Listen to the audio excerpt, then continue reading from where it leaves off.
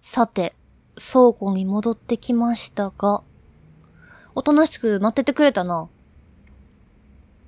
おとなしくしとったかうんうんうん。リーさんはどうでした？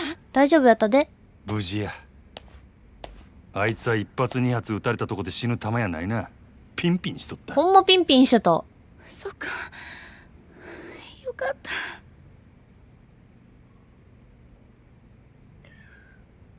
どうする？今日はもでもそれじゃ。う、あ、あの話も全部聞いたの。あの話は言いにくいよな。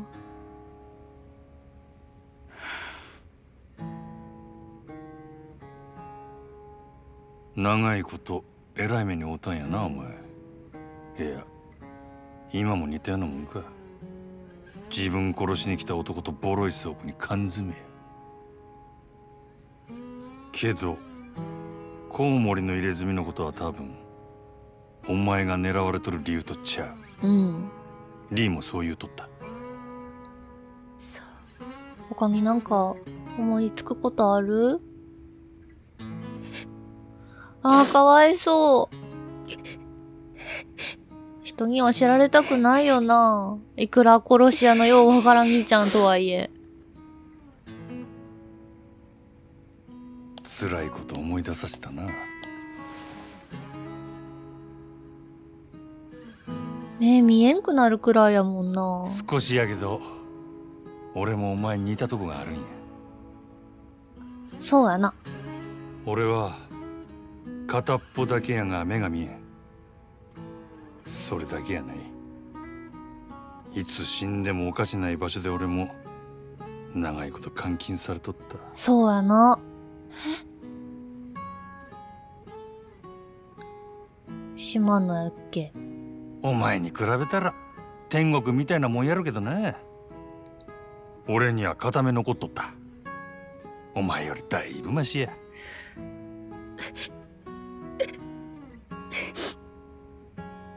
ああ、兄さんも優しいな。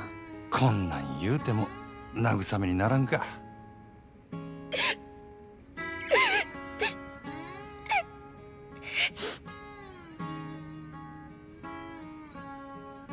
あそのなんや。かえって余計なこと言うたな。でもちょっと信用してくれそう。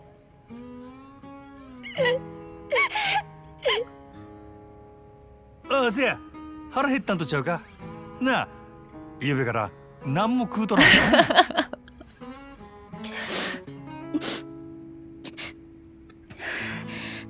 な 大丈夫大丈夫ちゃうやろ。アホ大丈夫なわけないやろがうんうん。腹減っとるからそんなに落ち込むんや元気ない時は食うに限るでなたこ焼き買ってこようか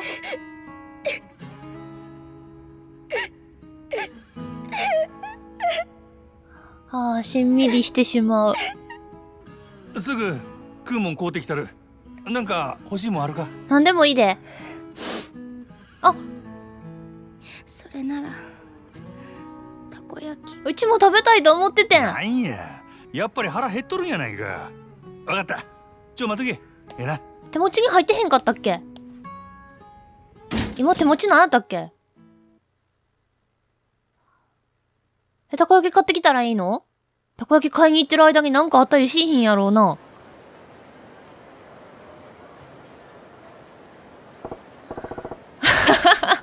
いや、頑張ってたで。きっと気持ちは伝わってると思う。不器用なりに。まあ、とりあえず食いもんやな。たこ焼き食いたい言うてたか。手持ちのたこや、あ、手持ちのたこ焼きがあるにはあるが、こない冷めたの食わせたら気の毒や。ちゃんと熱々の工程かなあかんな。手持ちに入ってたんか。あ、入ってるわ。8個入りと16個入り。外はカリカリ、中はトロトロは維持されてると思うで。まあ、熱々買ってこよっか。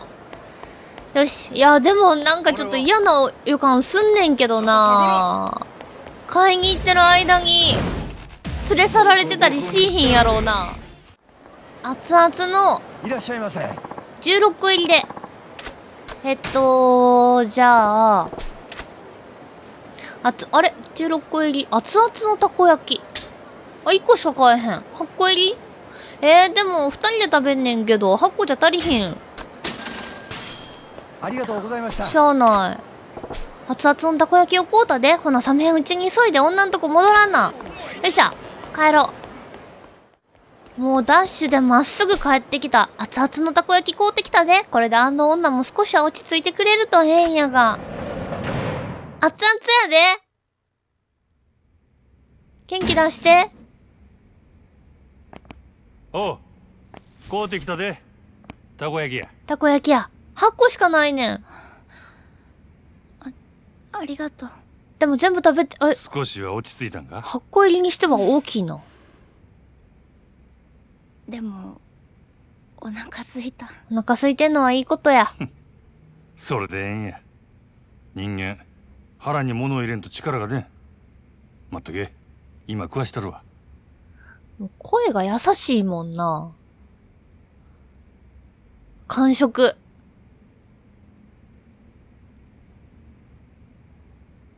元気出た？あのあ？あなたは目どうしたの？ん？その片目がなんで見えなくなったのかなってえ、ブスってやってグリグリってされてん。俺の場合は怪我っちゅうかな。事故みたいなもんでもう完全に潰れてもうだ事故ちゃうで。そんな。もう一つの目は残っとる。別にそれで十分や。まことちゃんは、なんかの表紙にまた見えたりすんのかな？な？人のことかわいそうって言えるのは。お前の方がよっぽどやろ。優しいからやな。私の目は心因性だからいつか治るかもって。治るかな？治ってほしい。そうなんか？なら望みはまだあるっちゅうことやな。よかったやないか。でもあなたの目は。もう慣れとる。そない不自由しとらんわせいぜい男前が台無しになっただけや。眼帯男前やで。男前なんだ。目が揃っとったらなお見せできんのが残念やでほんま。残念。あ、ちょっと余裕出たかな。少しは笑えるようになったが いつか目治って、ん？兄さんの何おな。前時計しとるんか？あ、確かに。うん。兄さんの顔見てほしいわ。けったいなやっちゃまあね。でも可愛いでしょ。動いてはなさそせやから。見えへんのやろうちゅうとるやろが。まったく。う。なんかその時計、分かってるよ。あ。でもねこれオルゴールの曲が鳴るのそれがまた可愛くって癒されるんだ。珍しいな。うん？どないの音や？今は鳴らない。だって時計が壊れてるから。なんやねそれ重要そう。で。も捨てられないものってあると思わない？他人から見れば全く意味がないけど自分にとってはなんだかすごく大切っていうか。あるある。目が見えなくなって。時間もわからなくなって。時計も壊れて。音も出なくなって。だから分かってるよ。そんなもの必要ないって。でも私がまだ元気だった頃の証なの。あそれを捨てちゃったら私は本当に。ー、誰も捨てなんて言わへんって。でもまたあのオルゴールの音聞いてみたい。わかるで。捨てられんかったら持っとりゃええ。持っとりゃきっといつかええことある。いつかいいことかうんうん。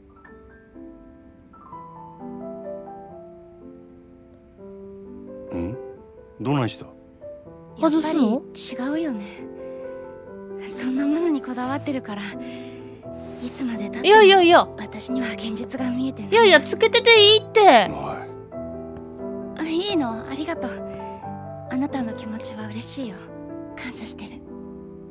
そうやない。お前が必要やと思うんやったら必要なんや。本当にそう思うんやって。うんうん。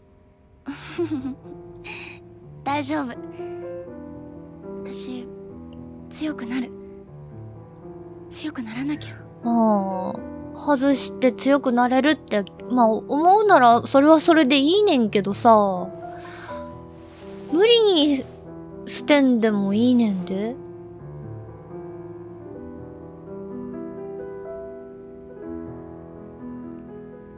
せやまだ言うとらんかったけどな。リーノさんはなんややることがある言うとったわそれが済んだらここに迎えに来させる。それまでもう少しの辛抱や。あれあれって一日で済むって言ってたっけ？どこか行くの？いつまでには準備するわなんて聞いてないもんな。そろそろ仕事の時間なんや。いつ準備完了するんやろ？佐川って名前に聞き覚えあるか？近江連合の極道や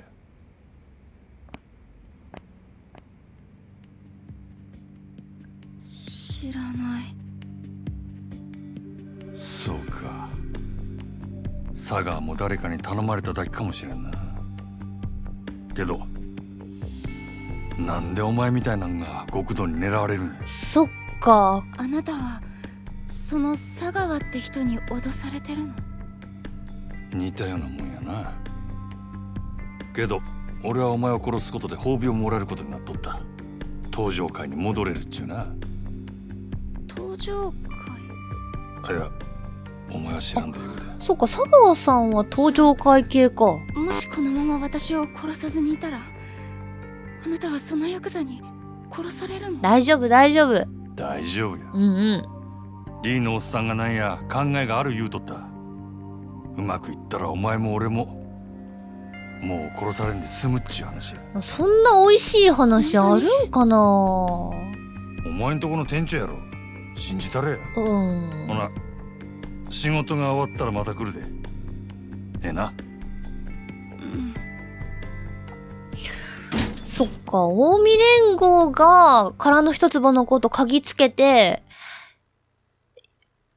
来たのがあの兄さんたちと鉢合わせたヤクザたちなんかな？そういうことやんな？うん、うん、いや、わからへんな。せや、グランドに顔出すついでに山形藩が言うてた、あ来た来たキャバクラの視察この近くやと、宝願寺横丁の方にある、あるやろか。ちょっと言ってみようか。まだカムロ町ほどマップが頭に入ってへんから、宝願寺横丁って言われても全然わからへんけど、ここか。さて、あ、あのいかがですかお客さん？店長自ら？んでいかれませんか？客引き？うん？私この店の店長のようだと申します。今なら当店ナンバーワンの女の子をお付けできますよ。いかがです？キャバクラ、サンシャインか。こんなところにこんな店あったんやな。いやー、でもなこの店はキャバレーか？キャバレーか？いえうちはキャバクラになります。キャバクラかちょうどええわまだ遊んだことあらへんのやでしたらこの機会にぜひ楽しいですよキャバクラうん。あの山形が理由もなく進めるはずない。きっと何かあるはずや。入ってみようやないか。山形さんができひんかった。潰れてしまった。ちゃんとナンバーワンの子つけてくうれ、ん。もちろんですさあどうぞこちらにうまくいってるんかな、この人は。山形さんは失敗してるからな。山形さんよりキャバクラ経営については有能っていうことなんかな。ちょっと個室チックなのが、キャバクラってことなんかな？うん、でも流行ってない。この人も失敗しそうなんかな。お客様お待たせしましたどこ？女の子は、当店ナンバーワン女ゆきちゃんです。どう？あ、可愛いや。どうんもゆきです。いやあれ？よろしくお願いします。もしかして、おうよろしくな。一人しかいいひんから、ナンバーワンとか？確かにキャバクラの女の子にしては地味か？それでは乾杯しましょうか。あからさまに乾杯慣れて。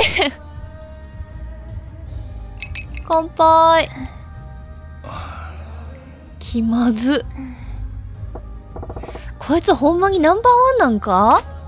ああのすみません私こんなんで 謝られちゃった。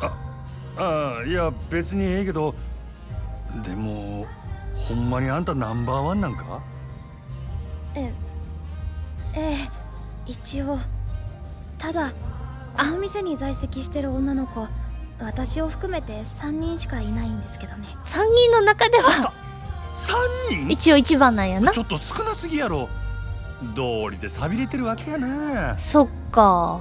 はい。あれもしかしてここちょっ立て直と前までしはそれなりに繁盛してたみたいなんですけどファイブスターが現れてからはずっとこんな感じで。なんや？ファイブスター？ファイブスタなんやそれ？ーファイブミリオネ、蒼あ、天堀ファイブスター。あ、蒼天堀のキャバクラを牛耳っている人気キャバクラ店。5店舗のオーナーたちの総称です。ここにもそんなんあるんか。に出店してからこの辺りにたくさんあったキャバクラはどんどん閉店に追いやられてしまって。閉店ってどうしてや？そんなに人気なんか？そのファイブスターっちゅうやつらの店はもちろん5店舗はどれもすごい人気です。へえ。た。だ閉店に追いやられた理由はそれだけじゃなくて。みんな引き抜かれそれだたけじゃない？なんや？簡単に言うと嫌がらせですかね。嫌がらせ？嫌がらせ？もう嫌がらせするのもいい加減にしてくださいよ。今真っ最中や。うん？毎日毎日朝から晩までいたずら電話したり営業中に騒いで邪魔をしたり。あそういうのもううんですよ。健全な勝負で負けるなら納得しますけどこんなやり方卑怯ですよ。なんでもありなんやな。失礼な人ですね。その嫌がらせをやっているのが我々だという証拠はどこにあるんですまた、あれですね。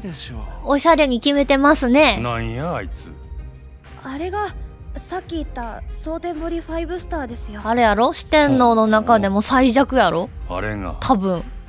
あいつは蒼天堀ファイブスターの一人クラブマーズ店長の日野という男ですほう、マーズで日野。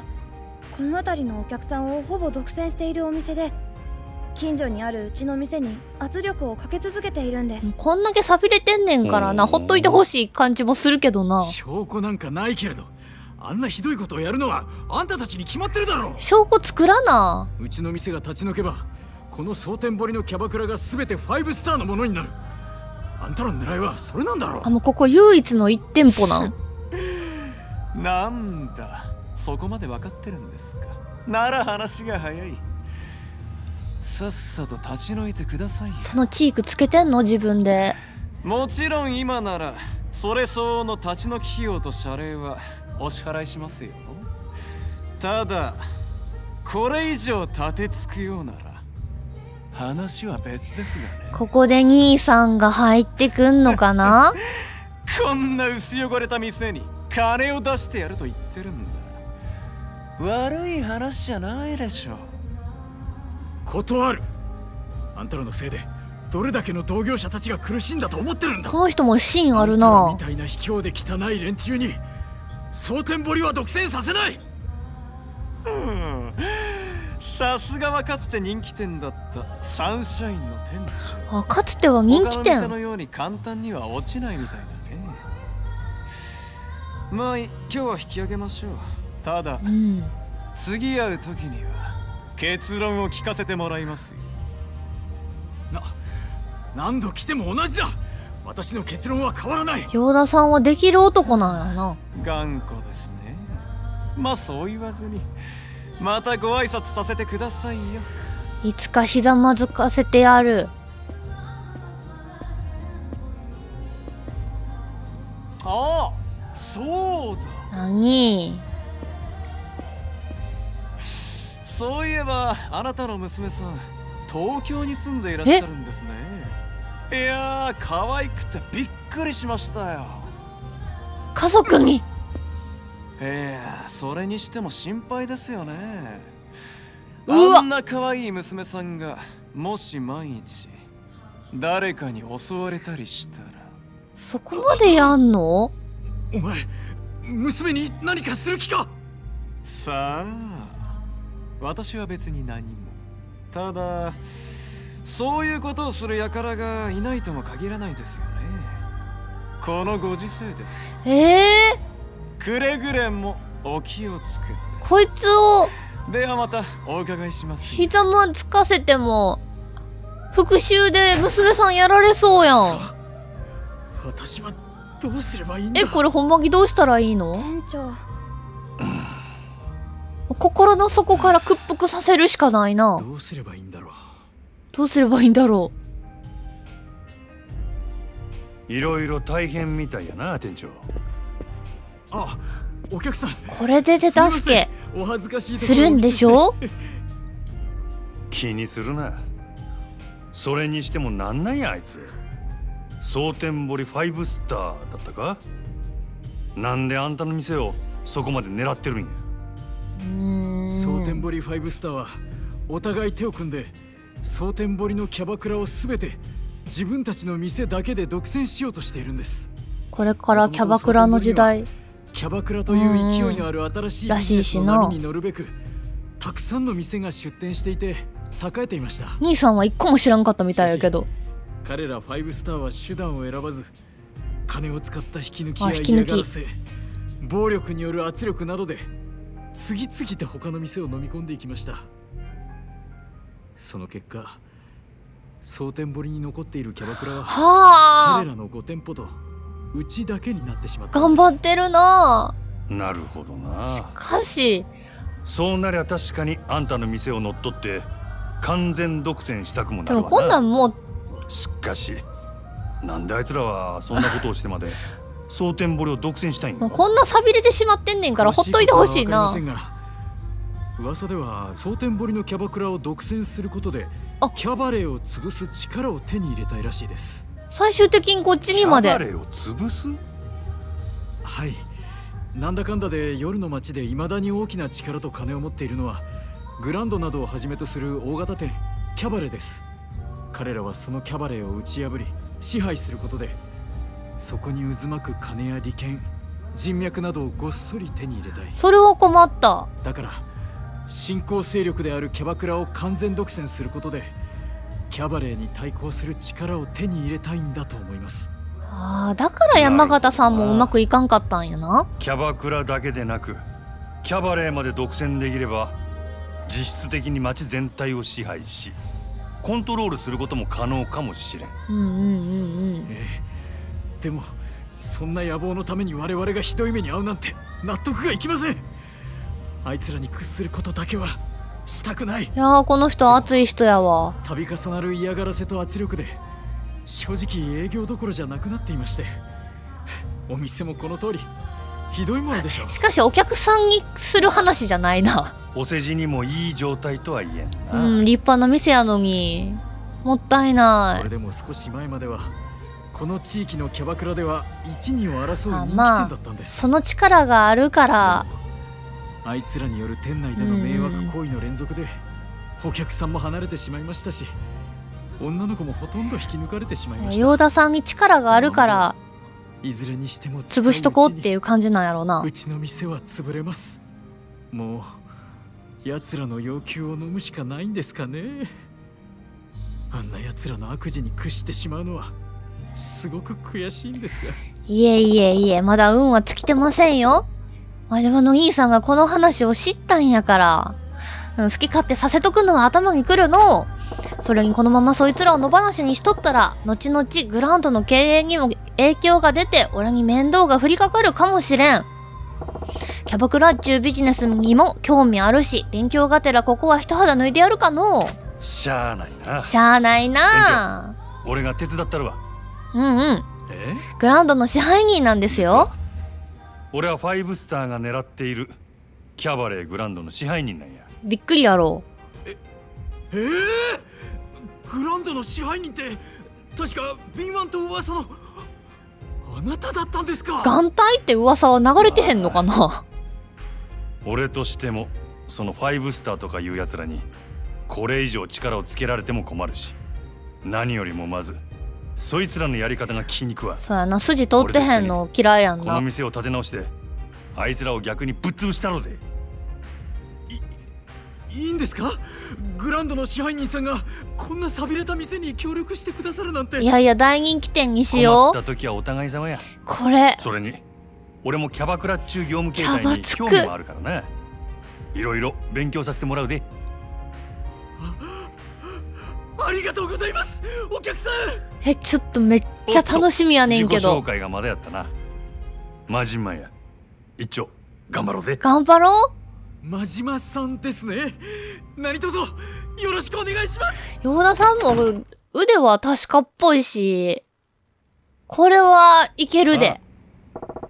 ここがバックヤード。あ、なんか、なんかお、騎士感がする。ええスタッフ控室みたいなものですね。店に関するあれこれや女の子の管理などはここで行っていきます。化粧もしますよ。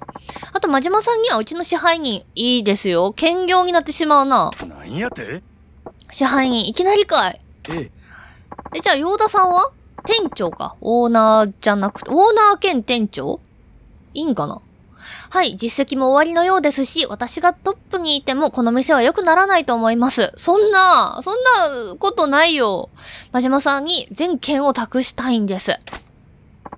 もちろんその代わりに私は店員として真島さんのサポートに徹しようと思います。お願いできますか？わかった。あんたがそこまで言うなら俺も覚悟決めるわ。任しとき。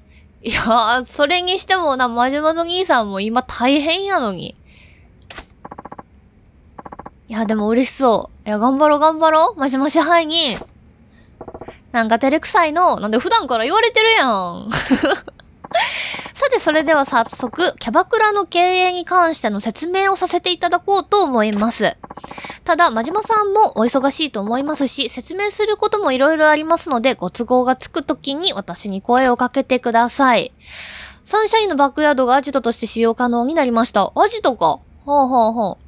しのぎ、しのぎね、の拠点になる重要な場所です。ストーリーが進むことで、アジトの電話にアクセスして、キリュウちゃんに切りか切り替えができ、行えるようになるほか、うんうんうん、まあ、ダウンロードコンテンツもろもろ。いやー、楽しみということで今回は ここまでにしたいと思います。ちょっとひとまずは、キャバツクやりますか。はい。えーでは次回、キャバツク編、えーよろしくお願いいたします。ではでは、またねバイバーイ